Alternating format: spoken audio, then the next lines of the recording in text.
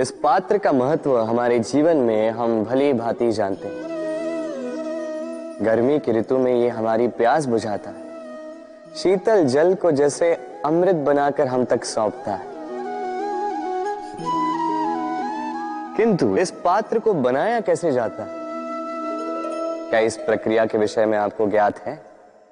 सर्वप्रथम कुम्हार स्वयं के पैरों से माटी को गूंथता है, मथता है।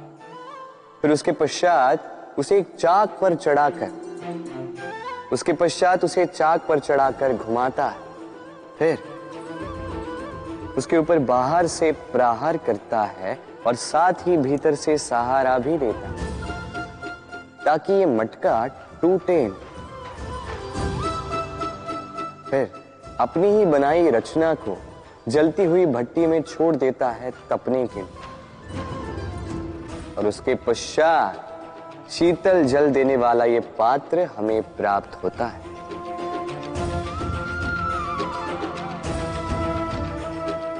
एक सर्वश्रेष्ठ गुरु भी यही करता है। सर्वप्रथम हमारे मन में छिपे संभावनाओं को निकालने के लिए हमें मथता है, फिर कठोरता से हमें आकार देता, उसी के साथ हमें सहारा भी देता, और फिर उसके पश्चात परीक्षा की अग्नि उस भट्टी में छोड़ देता, जलने के लिए। और तब जाके हमारा अस्तित्व बनता। है इसलिए, यदि आपके गुरु कठोर हो तो उनसे कुपित ना हुई, उनसे क्रोधित ना हुई।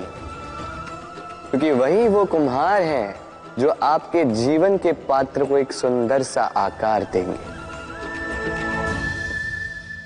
राधे राधे।